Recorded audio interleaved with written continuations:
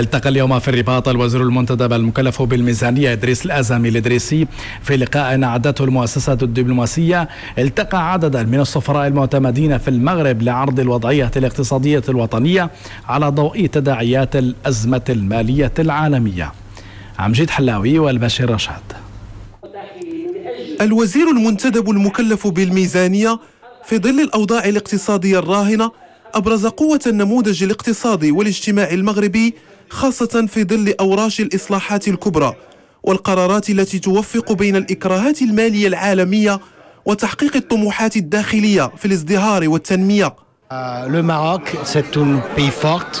إن المغرب بلد قوي اقتصاده قوي وهناك شعور بالتواجد في بلد منفتح يتوفر على عدة اتفاقيات تجارية للتبادل الحر.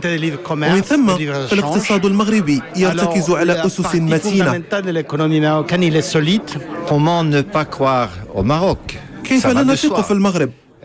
فالبلدان تواجه بين الفينة والأخرى صعوبات اقتصادية من حيث عجز الميزان التجاري وعجز الميزانية. الحكومة المغربية تحركت بسرعة ومن ثم فلا شيء يبعث على القلق.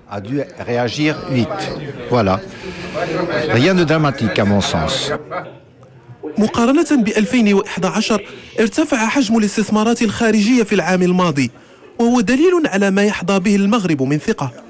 المهم وهو ليس هو الصعوبات ولكن هي الإصلاحات الكبرى التي يقوم بها المغرب من أجل آه، الرفع من آه، من من التوازنات الماكرو اقتصادية وهذا أساسي اللي هو فيه واحد إعطاء الرؤية اللازمة للفاعلين الداخليين والخارجيين من أجل انتهاج سياسة آه، اقتصادية واجتماعية.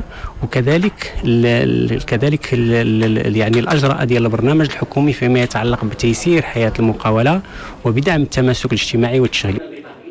الإصلاحات المتعلقة بصندوق المقاصة وقطاع العدل والنظام الضريبي كلها شكلت محاور في لقاء الوزير المغربي مع حوالي أربعين سفيرا معتمدا ببلادنا.